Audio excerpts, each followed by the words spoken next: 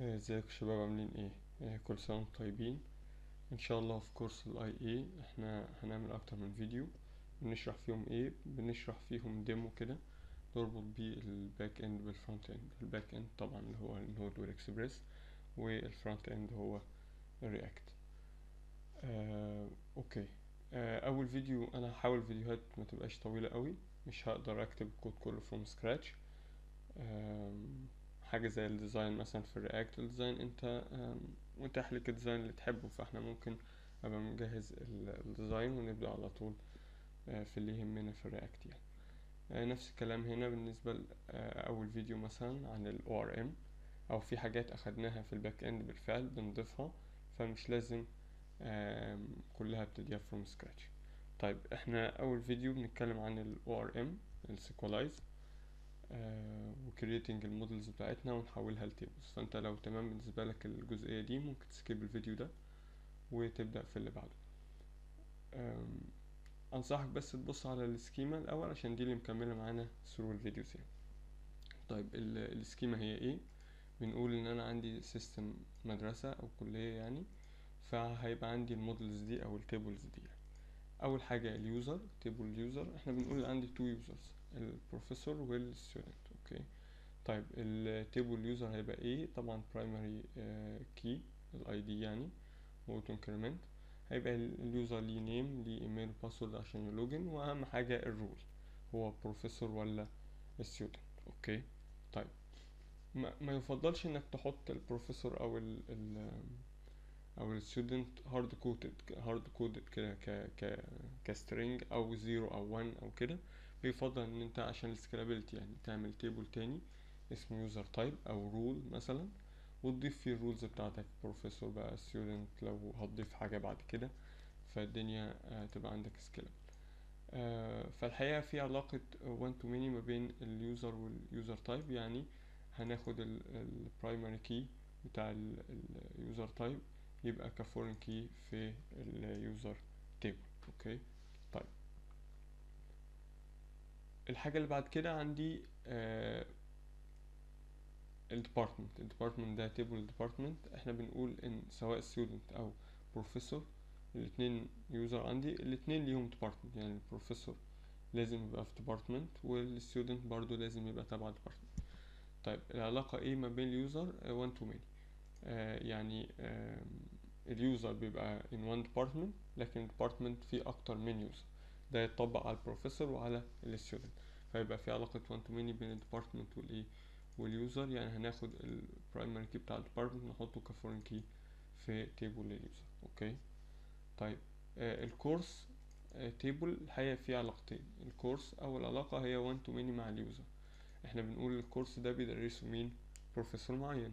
طيب فالبروفيسور يعتبر user فهيبقى فيه to many آه بين ال user وال course يعني آه هناخد ال primary key بتاع ال user اللي هو المفروض هيبقى البروفيسور ونحطه ك foreign key في table ال course طيب دي أول علاقة. تاني علاقة هي إيه؟ يبقى كده في عندي آه تلات علاقات one to many.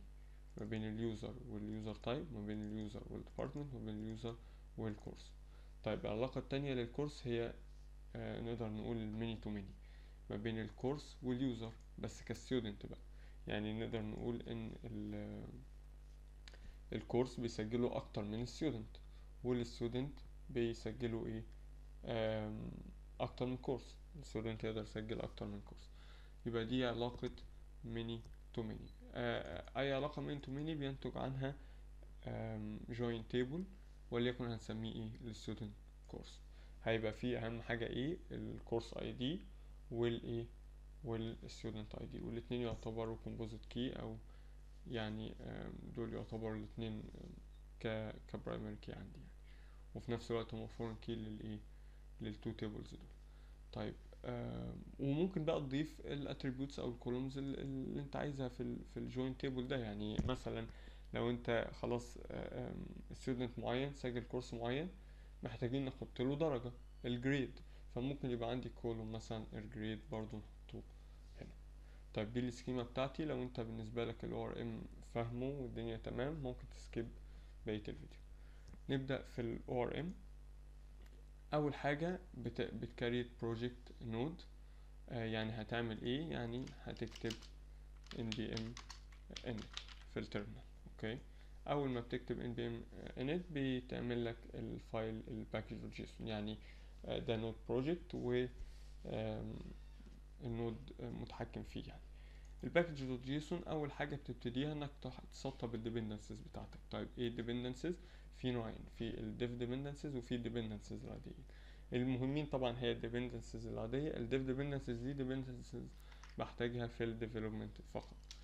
فأول حاجة هنقوله npm install. أول حاجة ال express. okay. دي ال commands دي هنكتبها في ال terminal اللي هو ده ام دي يعني. طيب. Npm install express اللي هو يعتبر ال- أهم package عندي يعتبر ده ال- آم، اللي هي handle request ات كل حاجة يعني ده يعتبر ال back end وال body parser دلوقتي ال request بيجيلي ممكن آه، يحمل data في في ال body بتاع ال request فأنت عايز ت parse ال data دي بحيث تقدر توصل لها فهتستخدم ال body parser تالت حاجة وأهم حاجة هي ال ORM tool بتاعتنا اللي هي ال Sequelize فأنت آم، بتسطب ال ORM Sequelize كده انت بتسطب كلهم مرة واحدة بدل ما تكتب npm install كل package لوحدها. طيب ال Sequelize ال ORM ده هيك إحنا هنفهم دلوقتي ORM هي create لي ال tables في ال database okay؟ ف فانهي بقى engine فانهي database engine فلازم تسطب له ال driver اللي هيكلم أنهي engine عندك. فأنت هت- هنشتغل على ال MySQL فهنسطب ال driver بتاع MySQL دي ال packages اللي انت محتاجها وهتلاقيها متسطبة هنا. طيب ال dev dependencies بقى دي ال dependencies اللي انت محتاجها بس في ال development زي ال dotenv وال nodemon طيب فهتكتب إيه npm install dash dash save dash dev أو ممكن نختصرها dash D capital okay؟ وتكتب ال packages بتاعتك. أنت عندك ال dotenv وهنفهم ده إيه. وال node mon.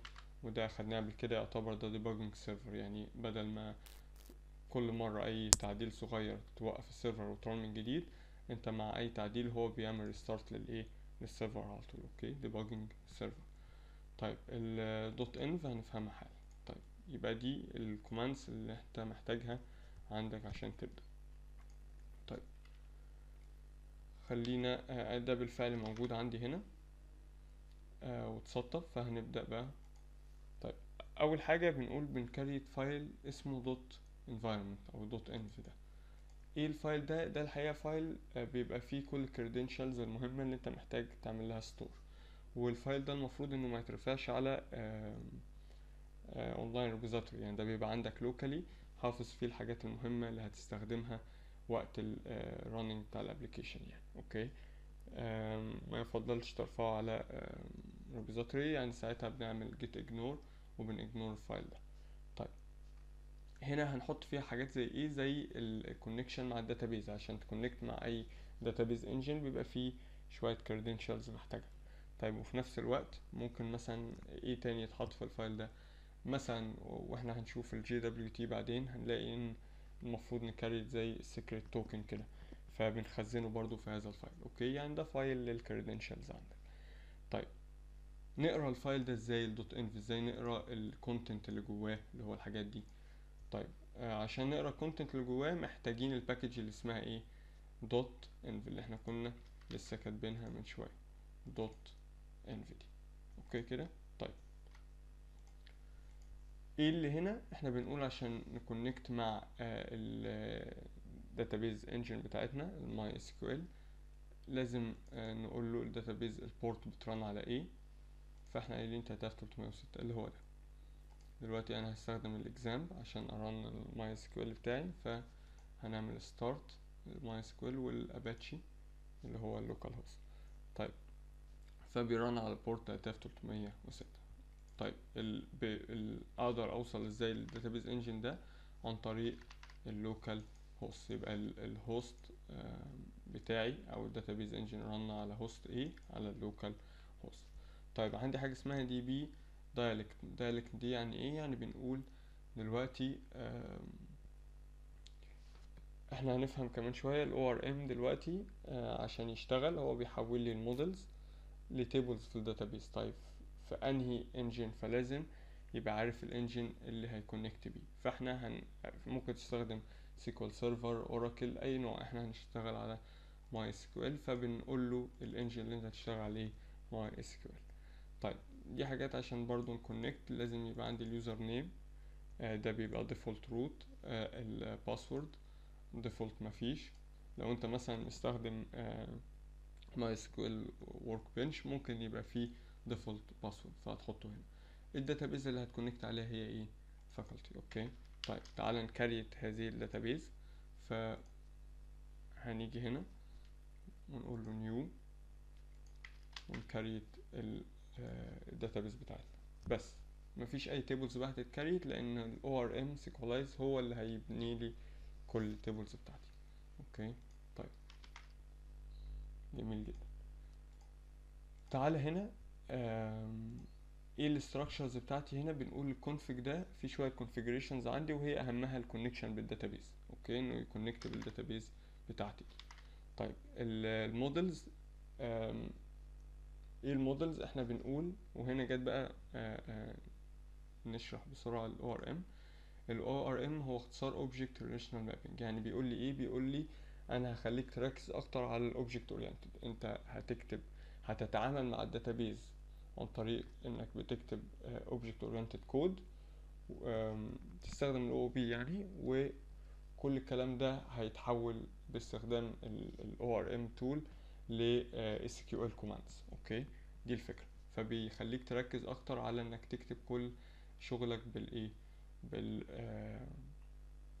object oriented طيب الفكرة كلها إيه؟ إنك عشان ت create tables في ال database بتعمل لكل table model أو بنسميه class okay طيب يعني لو أنت زي ما قلنا كده أنت عندك خمسة tables دول يبقى لازم هت create خمسة models أو خمسة classes أو ممكن functions يعني class أو function المهم بنسميهم models طيب يبقى هت create خمسة models كل موديل زي class بتكتب فيه شكل ال table هيبقى عامل إزاي اسم ال table إيه إيه ال columns اللي جواه.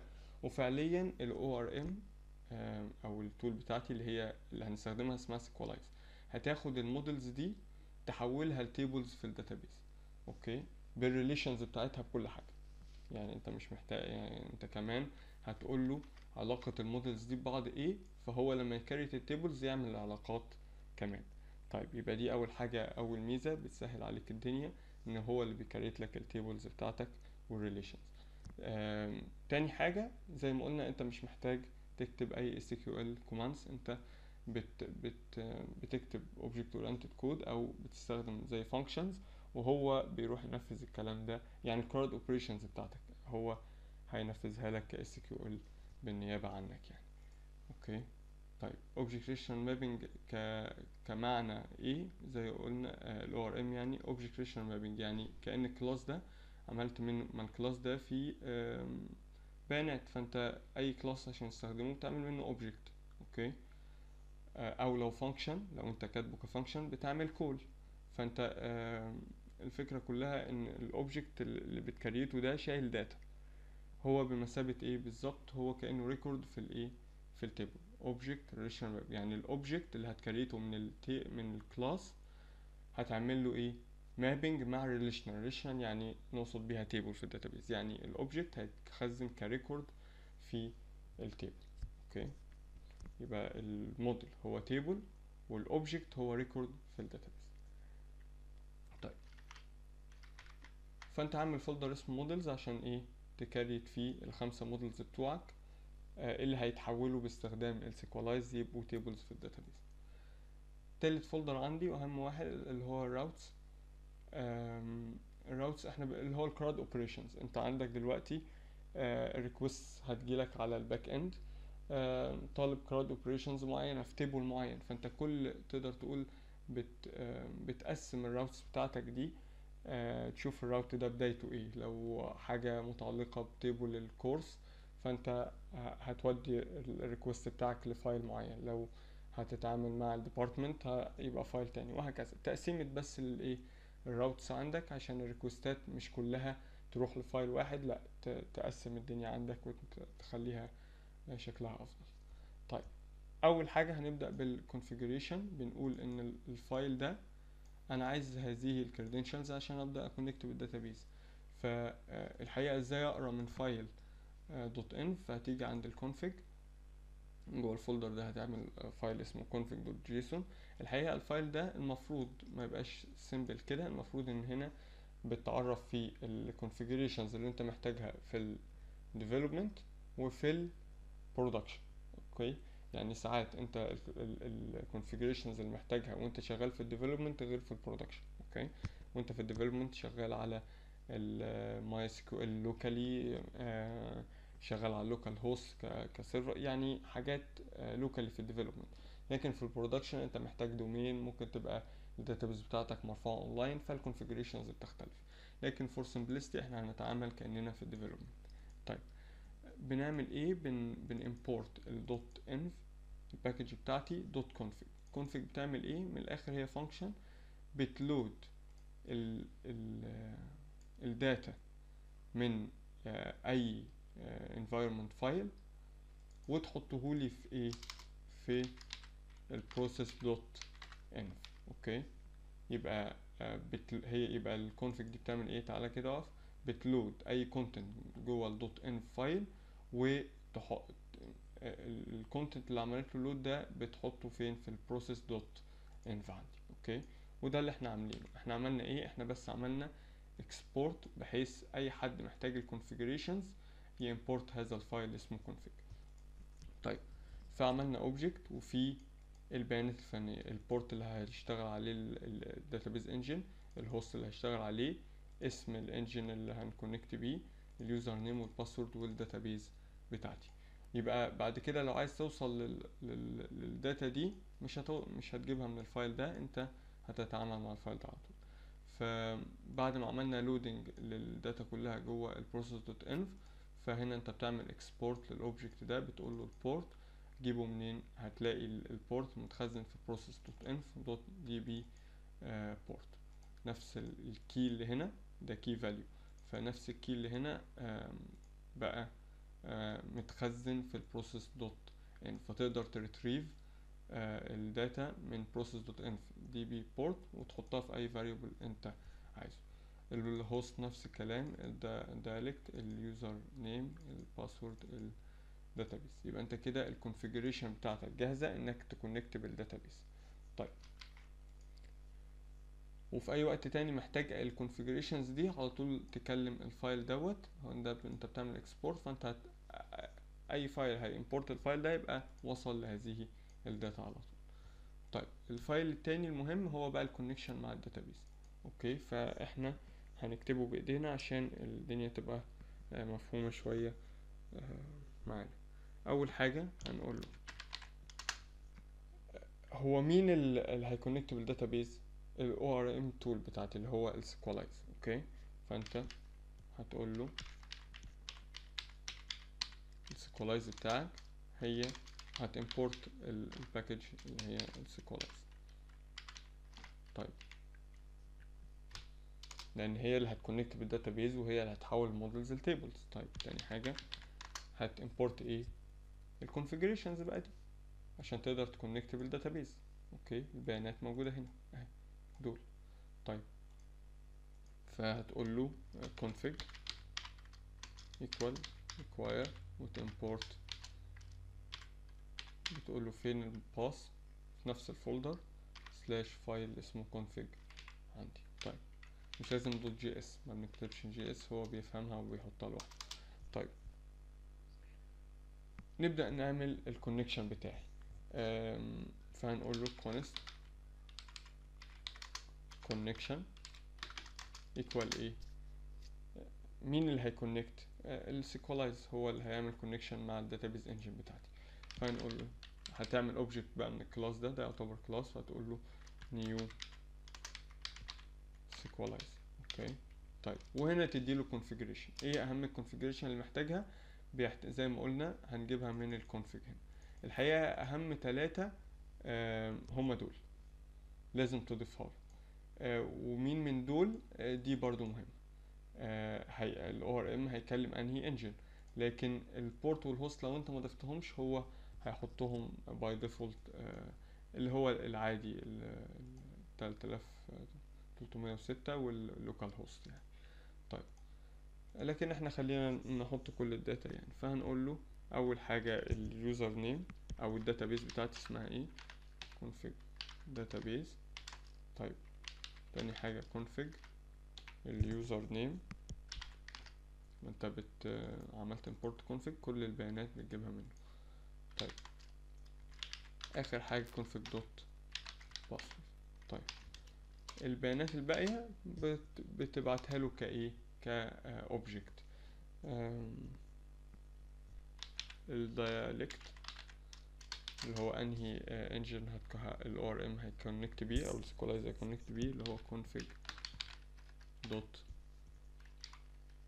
dialect طيب مين تاني؟ ال host وال port optional بس خلينا نقولهم برضو مفيش مشكلة. config dot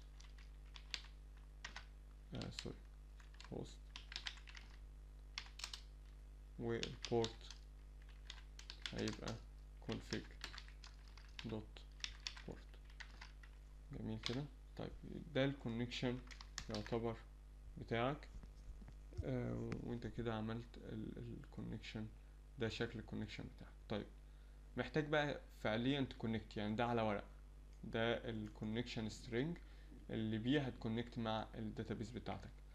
ت connect بقى عايز ت connect فبتقول له إيه؟ ال connection بتاعي ده dot authenticate authenticate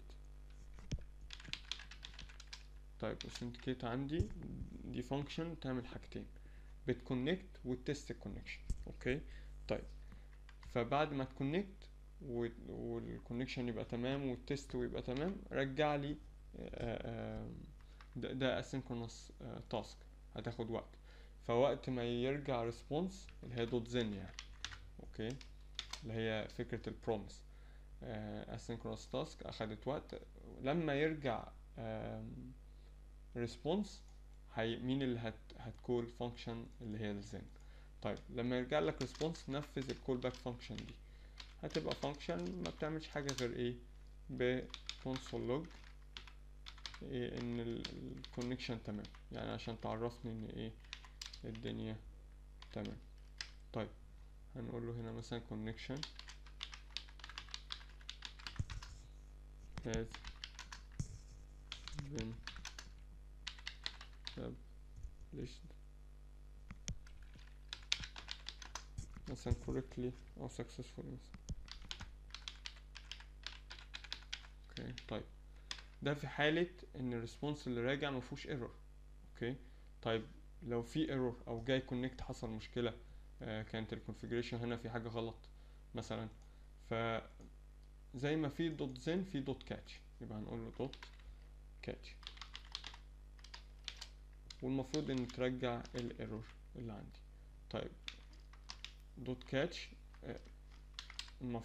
دي dot catch لو في error إيه ال callback function بقى اللي هتتنفذ لو جالي ال response فيه error ف أدي ال callback function أو ال function اللي عندنا وهن ال function دي بيجيلها في ال parameter ال error اللي حصل. طيب وهنيجي نقول له برضو console dot log ونقول له مثلا enable to connect to the base مثلا. مثلا تمام كده؟ وهنبدأ. ممكن نطبع له الإيرور كمان بالمرة عشان يسهل الدنيا عليك. طيب. كده انت عملت كونكشن عندك بال database ومفيش أي مشكلة. خلاص. آه عايزين بس نعمل إيه؟ بعد ما ت connect بال database انت هتحتاج هذا ال connection okay عشان تكلم آه ال database ت insert ت update تعمل أي حاجة. يبقى لازم ت export هذا الإيه؟ connection يبقى عندي؟ module dot exports equal ال connection بتاعي. تمام كده؟ طيب يبقى ده ال connection مع ال database تم بنجاح. خلينا ن test بقى تم ولا ما تمش؟ هتيجي عندك في ال index ت create ال server بتاعك. فأول حاجة طالما هن create ال server بتاعي يبقى هنستخدم الاكسبريس على طول equal require طيب. تاني حاجة. هت import مين؟ ال body parser okay body parser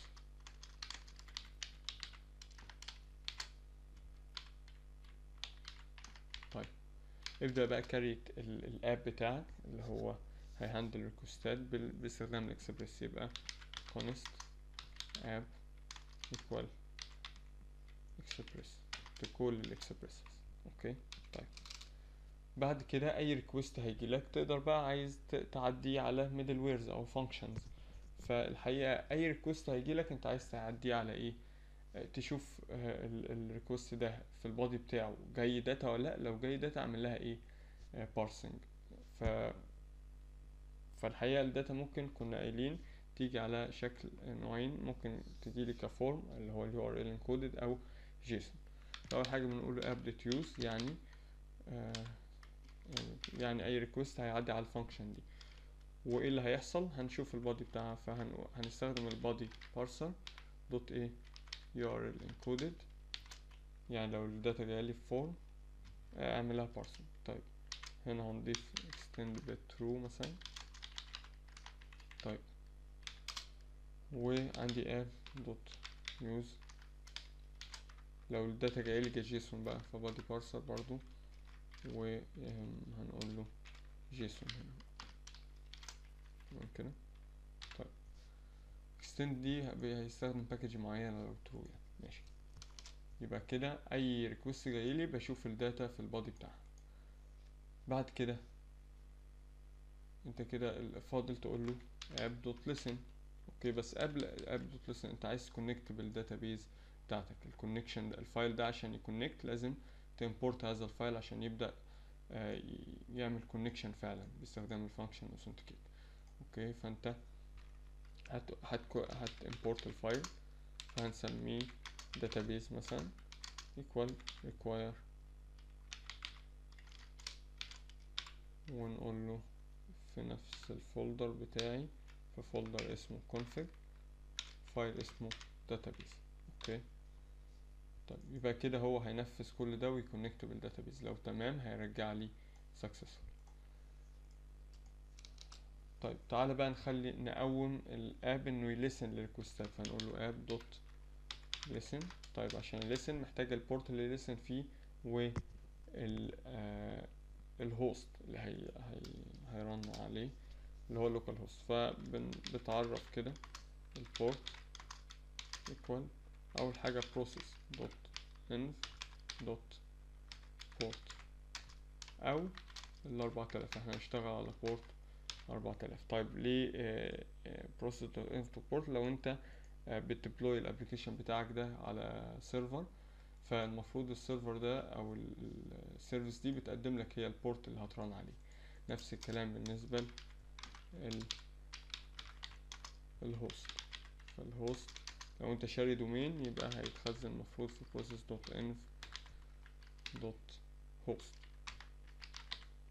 لكن إحنا شغالين في development locally فهنبقى هنقول له or uh, local host.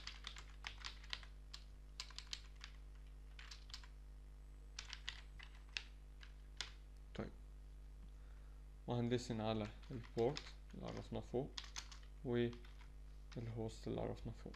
ولو الدنيا تمام رجع لي callback function تتنفذ. رجع لي function لو إيه؟ لو ال server قام فهن بس هنقول له اطبع لي console.log server is running okay طيب.